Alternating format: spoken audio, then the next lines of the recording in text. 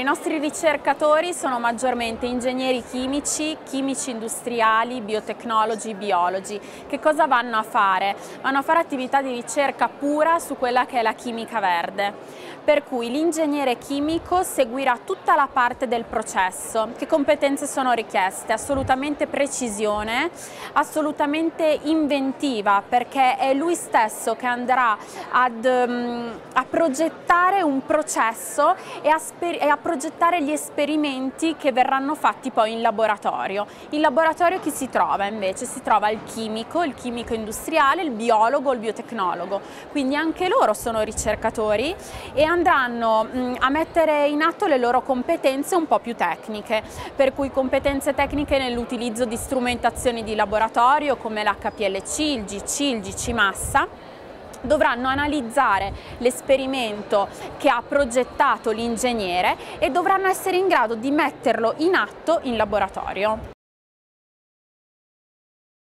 Sicuramente un'ottima conoscenza della chimica, un'ottima conoscenza dei numeri, una capacità di elaborarli i numeri e di, mm, di, di, capirli, di intenderli, per poi progettare e per poi metterli in atto nella progettazione degli esperimenti. Oltre a tutta questa parte di analisi del numero, l'analisi del dato, anche una buona manualità, una buona manualità nell'utilizzo della strumentazione di laboratorio, quella sicuramente.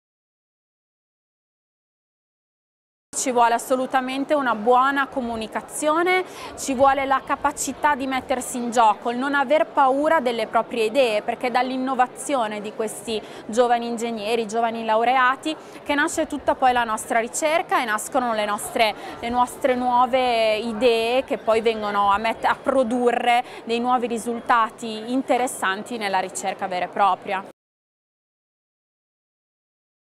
Da un candidato ci aspettiamo tanta voglia di imparare, tanta voglia di mettersi in gioco, ehm, la, la, la fiducia in se stessi, la fiducia negli altri la buona comunicazione con tutto il resto del team.